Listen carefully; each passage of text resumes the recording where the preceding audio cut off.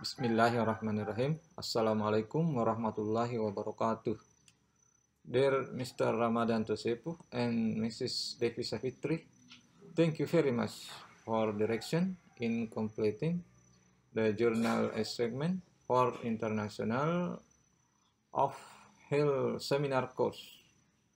My name is Amirullah, student of postgraduate program of public health University of Haluoleo Kendari, Indonesia. Ladies and gentlemen, I will present the journal, the title Epidemiology of Tuberculosis Disease Using Surveillance Data in Kendari City, Indonesia.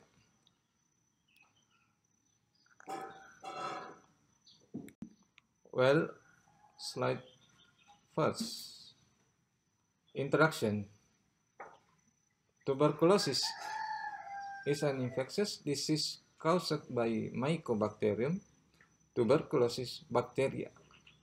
Tuberculosis is still becoming one of the public health problems in the world.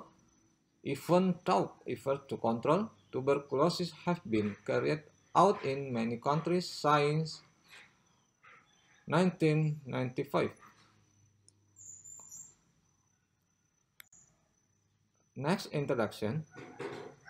Indonesia ranks third in the world after India and China in finding tuberculosis cases in 2018.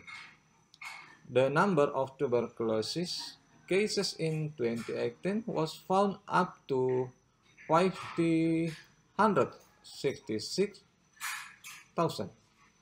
0.6 to 3 cases.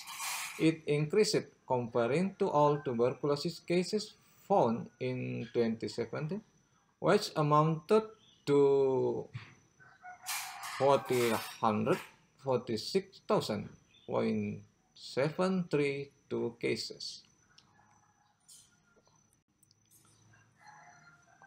Interaction next.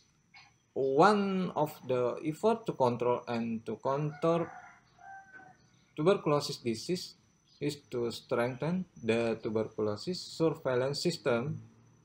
This activity aims to determine the spread of tuberculosis cases and to predict the place of transmission of tuberculosis.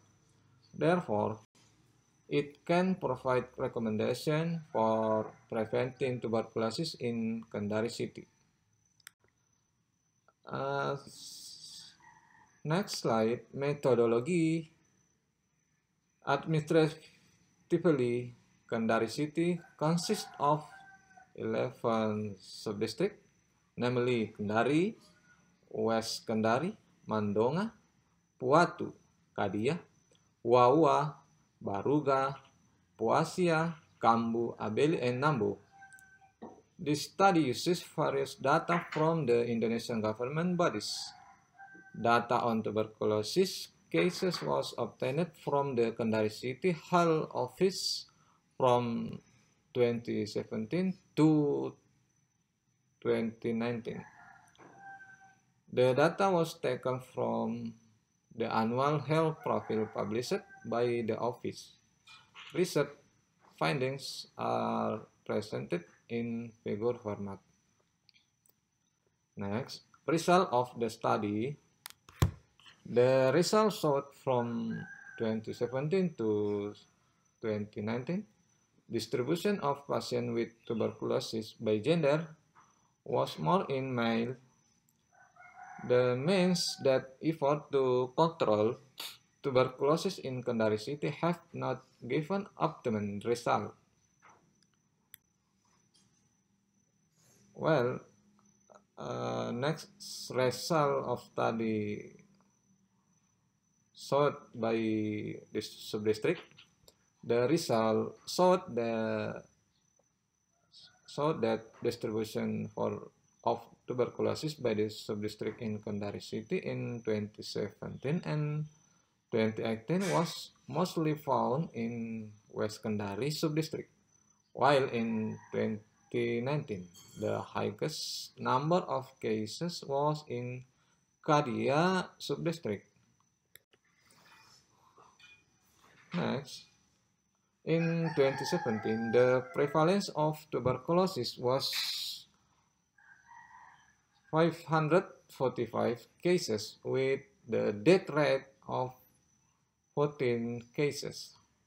In 2018, there were 697 cases of tuberculosis with the death rate of 15 cases, while in 2019, the prevalence was 711 cases with death rate of 18 cases.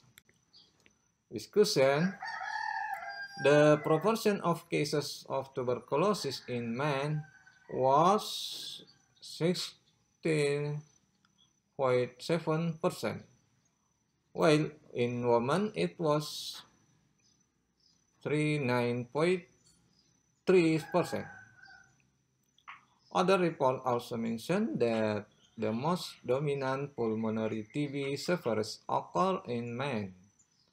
In adults, the male will be very vulnerable to contracting tuberculosis due to work activities that require them to keep working with the lack of information obtained about the mode in of transmission and the risk of transmission of tuberculosis. Uh, next conclusion, most tuberculosis sufferers um, are male with a distribution that tends to increase every year. The prevalence of tuberculosis since 2017 has always experienced a significant increase cases.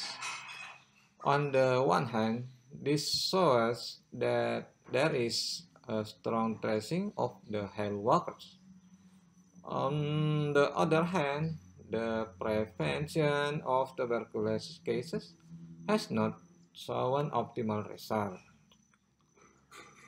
Uh, thank you. Assalamualaikum warahmatullahi wabarakatuh.